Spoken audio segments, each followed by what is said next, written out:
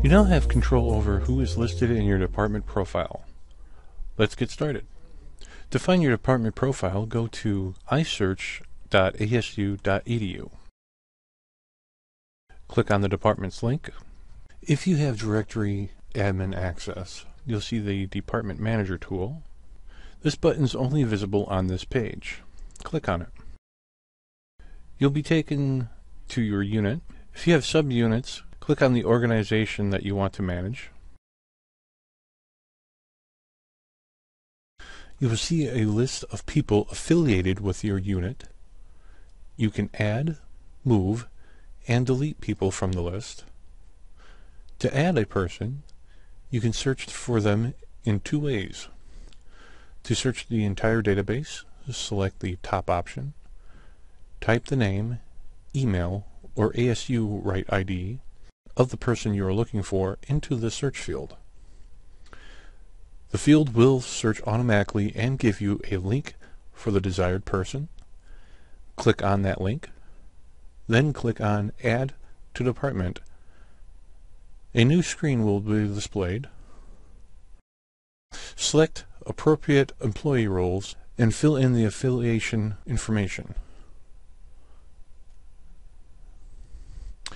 Note, if the person is going to be a directory admin, it is important to add the phrase directory admin into their title. Click Save when you are finished. It is possible for new employees to be affiliated with the top level department but not be assigned to a sub-department. To see these people, click on View Unassigned Employees from VIP area. A list of employees will be displayed. Click on an employee and then on Add to Department. To delete a person from your unit, go to the List Affiliated Employees, click the check mark next to the desired person, and then click the trash can icon. Click on Remove to confirm the change. Note, this does not change the employee's HR PeopleSoft status or employment status. To move a person to a different department, go to the list of affiliated employees, click the checkmark next to the desired person, and click the folder icon. You will see a list of units you have admin access to. Click on the new department and then on Move.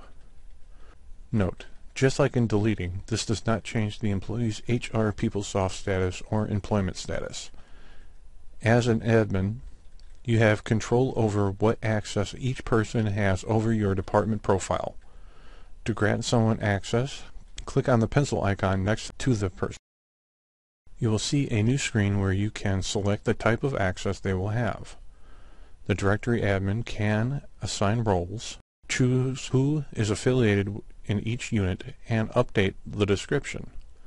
The department proxy can update the personal profiles of anyone affiliated with a unit. The department editor can update the department profile description. The manager identifies who manages the group.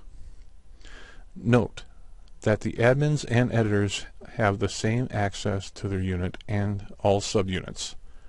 Note, if the person is going to be a directory admin, it is important to add the phrase directory admin to their title separated by a comma. Be sure to save your changes before leaving your department profile.